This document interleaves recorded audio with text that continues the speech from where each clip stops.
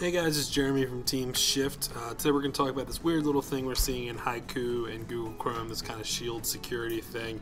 Uh, I just want to let you know it's perfectly safe and I'm just going to show you how to get through it.